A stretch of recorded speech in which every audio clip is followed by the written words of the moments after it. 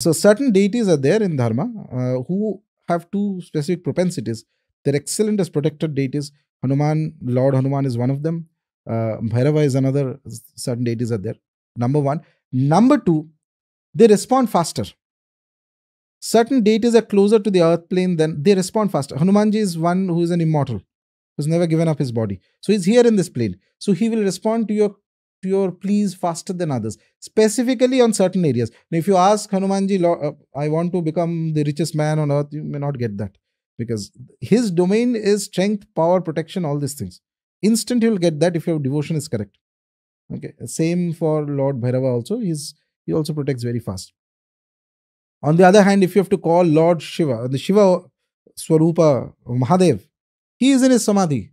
It will take you 9 10 lifetimes of calling before he responds. He will be aware that you are calling, but he may not be bothered to answer so easily. Wow.